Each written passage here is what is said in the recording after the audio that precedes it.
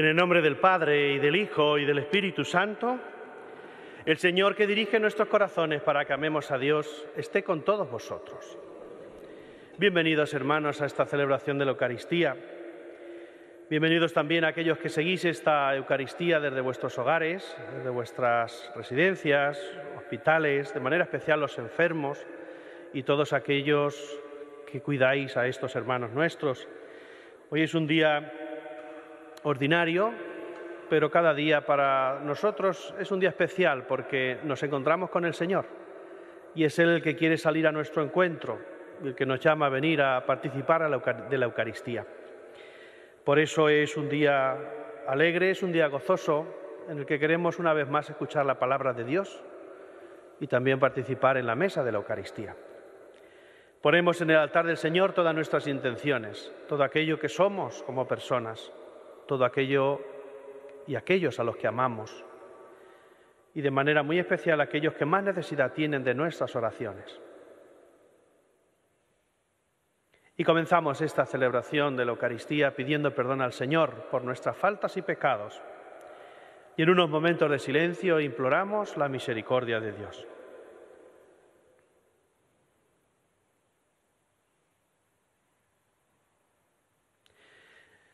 Yo confieso ante Dios Todopoderoso y ante vosotros, hermanos, que he pecado mucho de pensamiento, palabra, obra y omisión, por mi culpa, por mi culpa, por mi gran culpa. Por eso ruego a Santa María, siempre Virgen, a los ángeles, a los santos y a vosotros, hermanos, que intercedáis por mí ante Dios nuestro Señor. Dios Todopoderoso tenga misericordia de nosotros, perdone nuestros pecados y nos lleve a la vida eterna. Señor, ten piedad. Cristo, ten piedad. Señor, ten piedad. Oremos.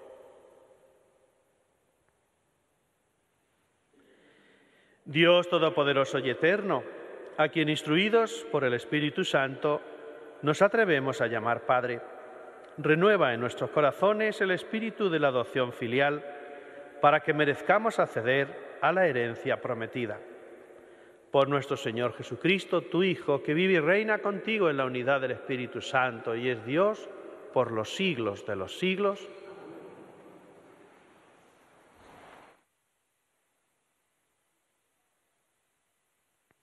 Lectura de la profecía de Ezequiel. El 5 del mes era el año quinto de la deportación del rey Jeconías, vino la palabra del Señor sobre Ezequiel, hijo de Buzi, sacerdote en tierra de los caldeos, a orillas del río Quebar. Allí se posó sobre él la mano del Señor. Vi un viento huracanado que venía del norte, una gran nube y un fuego zigzagueante con un resplandor en torno y desde el centro del fuego, como un resplandor de ámbar, y en el centro de todo, la figura de cuatro seres vivientes. Este era su aspecto, tenían forma humana, y oí el rumor de sus alas cuando se movían, como estruendo de aguas caudalosas, como la voz del Todopoderoso, como griterío de multitudes, como estruendo de tropas. Cuando se detenían, replegaban sus alas también se oyó un estruendo sobre la bóveda que estaba encima de sus cabezas. Cuando se detenían, replegaban sus alas. Y por encima de la bóveda que estaba sobre sus cabezas, había una especie de zafiro en forma de trono. Sobre esta especie de trono sobresalía una figura que parecía un hombre.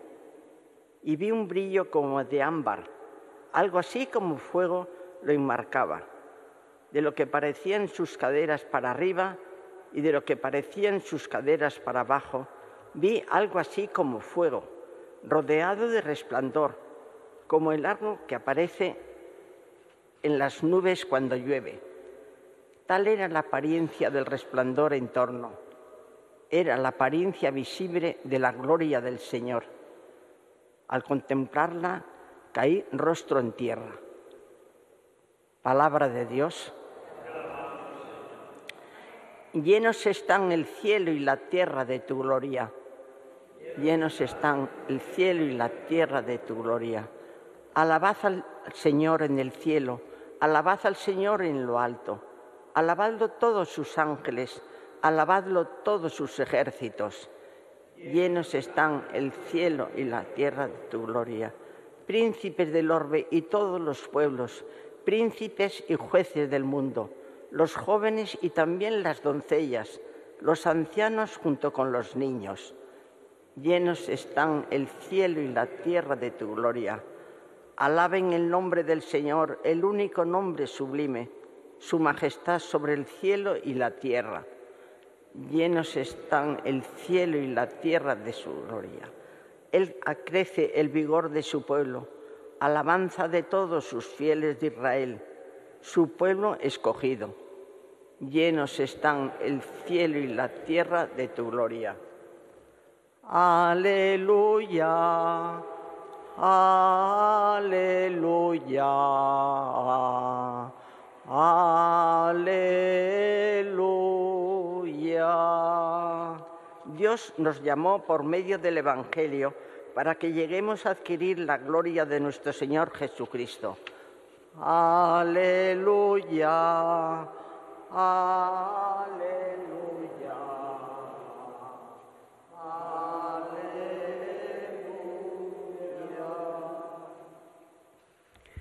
El Señor esté con vosotros. Lectura del Santo Evangelio según San Mateo.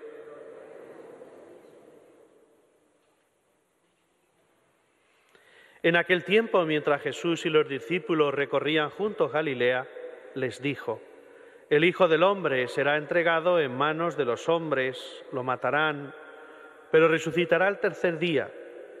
Ellos se pusieron muy tristes. Cuando llegaron a Cafarnaún, los que cobraban el impuesto de las dos dracmas se acercaron a Pedro y le preguntaron, ¿Vuestro maestro no paga las dos dracmas? Contestó, sí. Cuando llegó a casa, Jesús se adelantó a preguntarle, ¿qué te parece, Simón? Los reyes del mundo, ¿a quién le cobran impuestos y tasas? ¿A sus hijos o a los extraños? Contestó, a los extraños. Jesús le dijo, entonces los hijos están exentos. Sin embargo, para no darles mal ejemplo, ve al mar, echa el anzuelo, coge el primer pez que pique, ábrele la boca y encontrarás una moneda de plata cógela y págales por mí y por ti.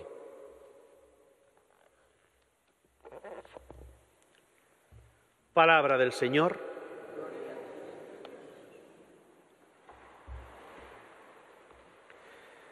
Queridos hermanos, aquí presentes, hermanos, ancianos y enfermos que seguís esta Eucaristía por, por 13 Televisión, hoy acabamos de escuchar una palabra de Dios, pues que quizá necesita mucha explicación, pero me gustaría nada más deciros algunas ideas para poder vivirla en nuestra propia vida. De la profecía de Ezequiel no me gustaría decir mucho, únicamente nos presenta una visión, una visión de lo que es la gloria de Dios.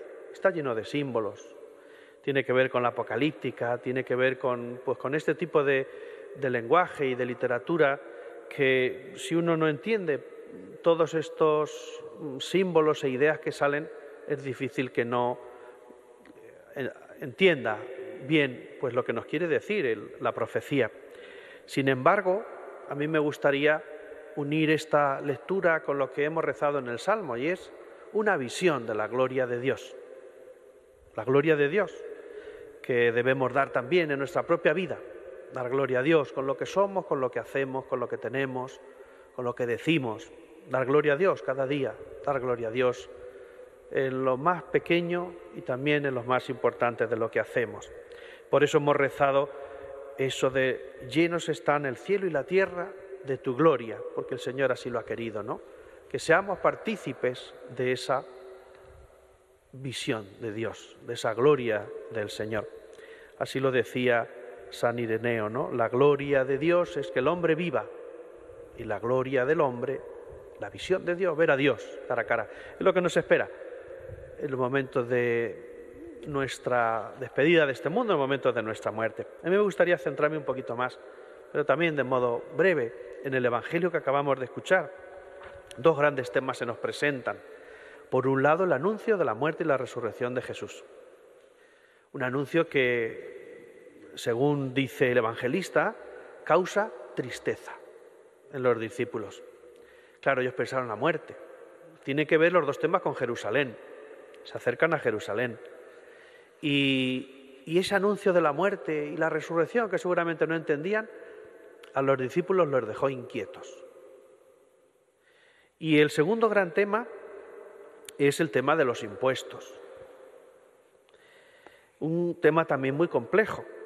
Pero bueno, sabemos que la sociedad en la que le tocó vivir a Jesús era una sociedad así de compleja. Por un lado pertenecían al Imperio Romano, pero por otro lado el Imperio Romano les permitía vivir con su propio rey, Herodes en aquella época, y, cada uno con sus impuestos, sus leyes, más luego la sociedad religiosa. Por eso todo muy complejo. Pues bien, hoy están recogiendo estos impuestos, impuestos para el templo.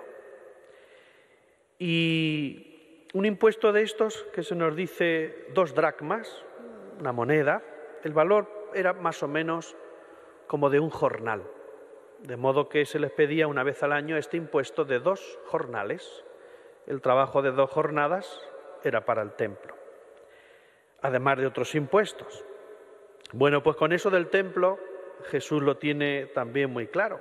Si Él es hijo de Dios, ¿cómo va a pagar el hijo? Impuestos. Por eso dice aquello de a quién se le pide, a los propios a los extraños. También cuando se escriben los evangelios, esto era una cuestión candente, por el hecho de que muchos de los primeros cristianos pertenecían del judaísmo y sus costumbres eran también pagar impuestos al templo. Los cristianos no, los cristianos no estaban vinculados al templo de Jerusalén, de modo que no tenían esa necesidad. Bueno, pues, pues yo creo que por la paz en casa, como decimos tantas veces, y a lo mejor también por justicia, pues Jesús dice aquello de por no dar mal ejemplo, hay que pagar el impuesto. Y, y ahí es donde nos viene a la cabeza, a mí al menos me venía a la cabeza dos expresiones.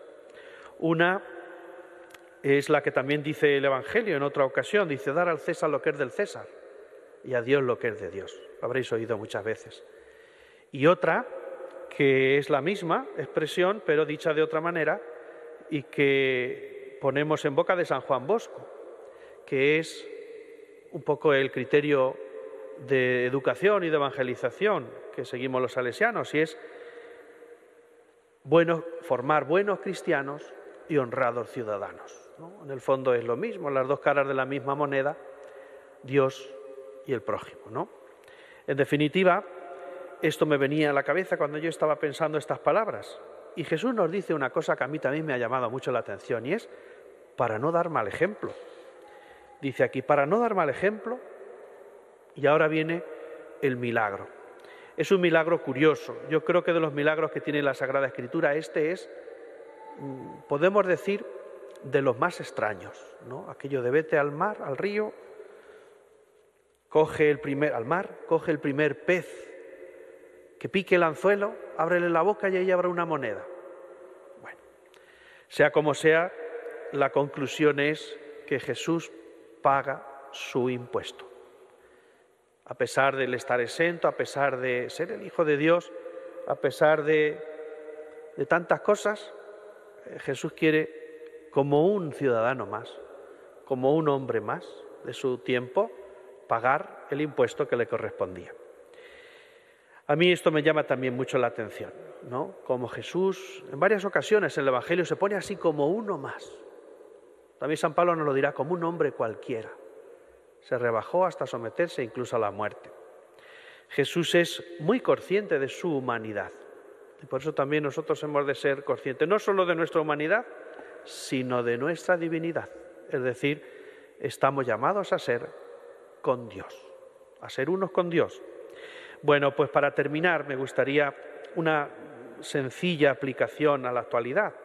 Hoy en día, si nos ponemos a hablar de impuestos, podemos escribir muchas páginas, ¿verdad? Todos sabemos que esto no ha pasado de moda. Esto siempre es una constante en todo lo que hacemos, en toda actividad comercial. Hay un impuesto que debemos pagar las autoridades. No sé si es justo decir esto de tenemos que pagar impuestos o no tenemos que pagar, sabemos que debemos hacerlo. Me viene a la cabeza esto de cómo tenemos que actuar. Pues como lo hacemos, como actuamos, como actuó Jesús, siendo buenos cristianos, pero honrados ciudadanos. Es decir, no nos podemos quitar del medio en aquello que nos corresponde a cada uno de nosotros. Debemos vivir la vida dando a Dios lo suyo, lo propio, lo que hacemos también cada vez que participamos en los sacramentos, cada vez que oramos, cada vez que unimos nuestro corazón al del Señor. Pero también debemos saber que el corazón en el cielo, pero al tener los pies en la tierra, debemos también saber que como ciudadanos nos corresponde aportar a la sociedad. Y por eso no solo aportamos a la sociedad lo que somos y lo que tenemos, sino lo que nos corresponde como uno más en esta vida. Pues ojalá y cada uno de nosotros seamos capaces de vivir, como se nos dice tantas veces en la vida religiosa, vivir en el mundo sin ser del mundo, pero sabiendo que no significa esto desentendernos de lo que tenemos que llevar a cabo. Ojalá y así seamos conscientes de que Dios nos llama a algo grande, pero no alejados de nuestros hermanos, los hombres y mujeres de nuestra época. Que así sea.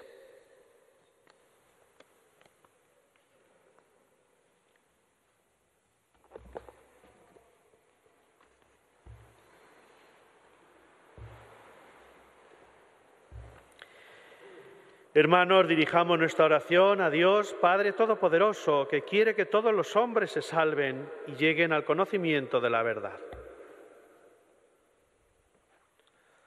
Por la Santa Iglesia de Dios, para que se digne custodiarla y defenderla, roguemos al Señor. Te rogamos, óyenos. Por los pueblos de toda la tierra, para que vivan en concordia y paz verdaderas, roguemos al Señor. Te rogamos, óyenos por los que viven angustiados por distintas necesidades, para que encuentren ayuda en Dios. Roguemos al Señor. Te rogamos, Por nosotros mismos y nuestra comunidad, para que el Señor nos acepte como ofrenda agradable. Roguemos al Señor. Te rogamos, óyenos. Y pedimos también por todas nuestras necesidades, por las necesidades de aquellos que nos piden oraciones, de manera muy especial por los enfermos, por los ancianos, por los que se encuentran solos y también por las personas que los atienden en hospitales, residencias, el personal sanitario, para que el Señor les dé fuerzas para seguir adelante cada uno en sus circunstancias de vida. Roguemos al Señor. Oh Dios, refugio y fortaleza nuestra, escucha las oraciones de tu Iglesia y concédenos por tu bondad lo que te pedimos con fe. Por Jesucristo nuestro Señor.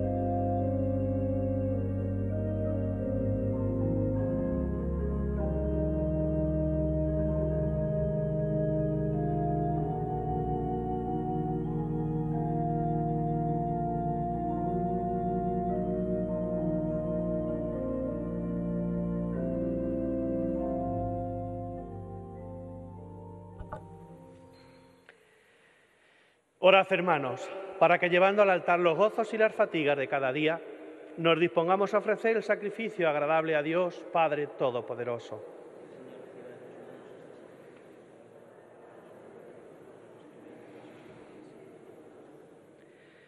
Acepta complacido, Señor, los dones que en tu misericordia has dado a tu Iglesia para que pueda ofrecértelos y que ahora transformas con tu poder en sacramento de nuestra salvación.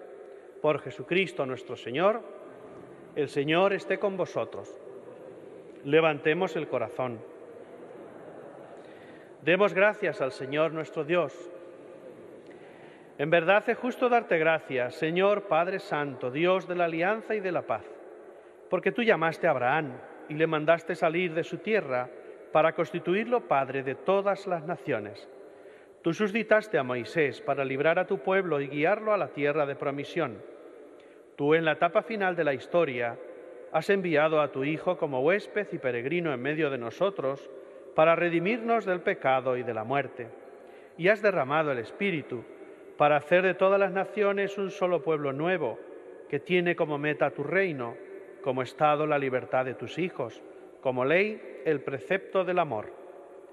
Por estos dones de tu benevolencia y unidos a los ángeles y a los santos, cantamos con gozo el himno de tu gloria. Santo, santo, santo es el Señor, Dios del universo.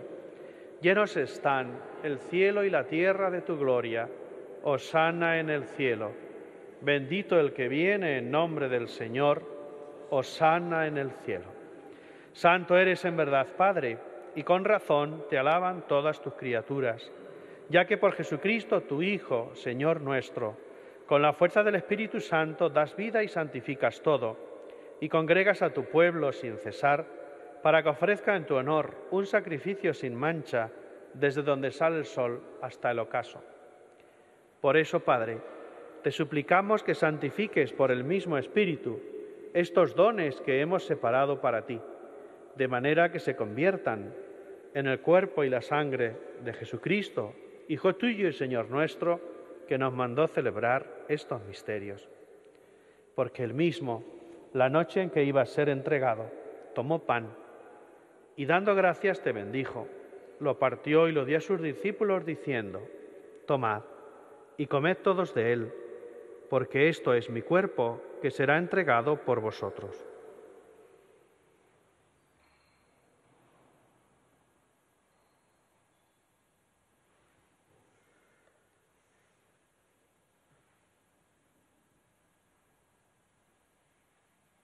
Del mismo modo, acabada la cena, tomó el cáliz, dando gracias te bendijo y lo pasó a sus discípulos, diciendo, Tomad y bebed todos de él, porque este es el cáliz de mi sangre, sangre de la alianza nueva y eterna, que será derramada por vosotros y por muchos para el perdón de los pecados. Haced esto en conmemoración mía.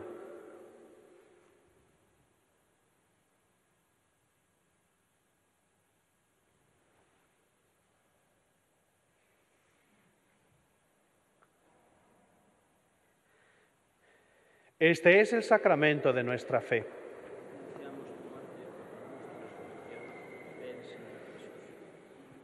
Así pues, Padre, al celebrar ahora el memorial de la pasión salvadora de tu Hijo, de su admirable resurrección y ascensión al cielo, mientras esperamos su venida gloriosa, te ofrecemos en esta acción de gracias el sacrificio vivo y santo.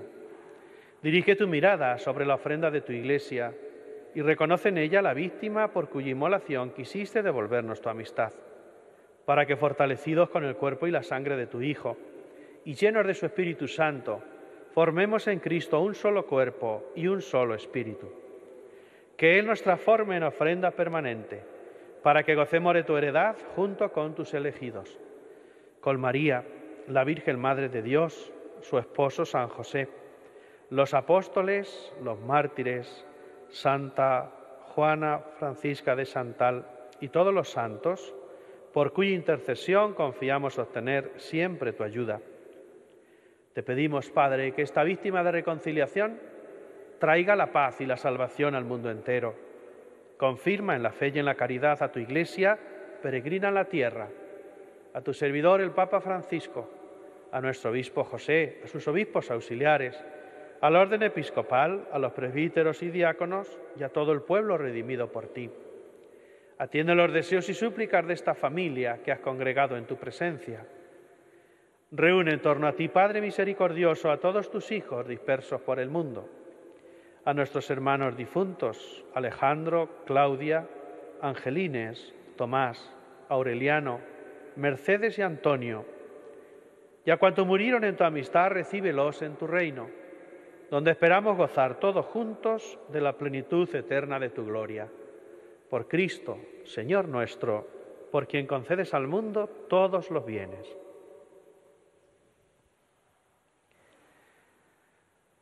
Por Cristo, con Él y en Él, a ti, Dios Padre Omnipotente, en la unidad del Espíritu Santo. Todo honor y toda gloria por los siglos de los siglos. Fieles a la recomendación del Salvador y siguiendo su divina enseñanza, nos atrevemos a decir, Padre nuestro que estás en el cielo, santificado sea tu nombre, venga a nosotros tu reino, hágase tu voluntad en la tierra como en el cielo. Danos hoy nuestro pan de cada día, perdona nuestras ofensas, como también nosotros perdonamos a los que nos ofenden no nos dejes caer en la tentación y líbranos del mal. Líbranos de todos los males, Señor, y concédenos la paz en nuestros días, para que, ayudados por tu misericordia, vivamos siempre libres de pecado y protegidos de toda perturbación, mientras esperamos la gloriosa venida de nuestro Salvador Jesucristo. Señor Jesucristo, que dijiste a tus apóstoles, la paz os dejo, mi paz os doy. No tengas en cuenta nuestros pecados, sino la fe que tiene tu Iglesia.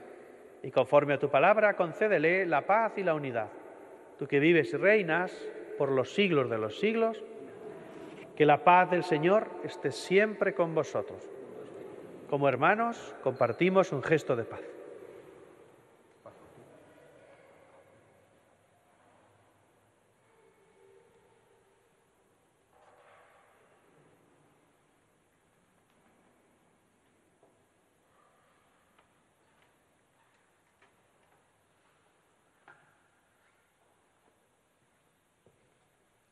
Cordero de Dios, que quitas el pecado del mundo, ten piedad de nosotros.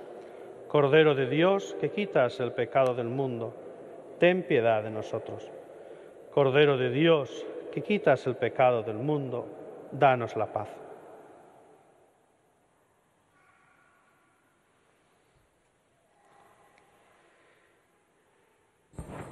Este es el Cordero de Dios que quita el pecado del mundo. Dichosos vosotros los invitados a su mesa. Señor, no soy digno de que entres en mi casa, pero una palabra tuya.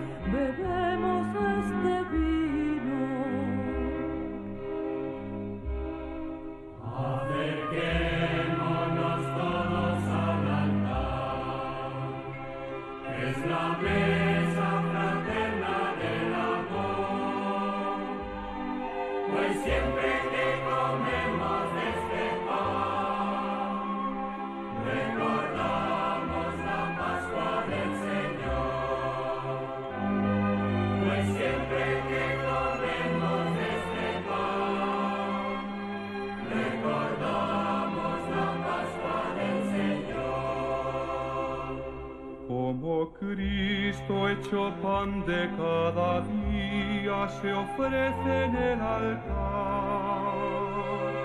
Nosotros entregados al hermano comemos este pan. Como el cuerpo de Cristo es uno solo, por todos ofrecido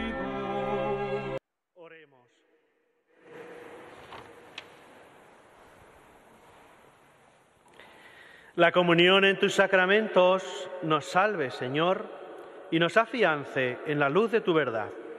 Por Jesucristo nuestro Señor, el Señor esté con vosotros. Y la bendición de Dios Todopoderoso, Padre, Hijo y Espíritu Santo, descienda sobre vosotros. Os invito ahora, aquellos que lo deseéis, a, a continuar un rato de oración en la exposición del Santísimo. Feliz jornada a todos. Con la alegría del Señor podéis ir en paz.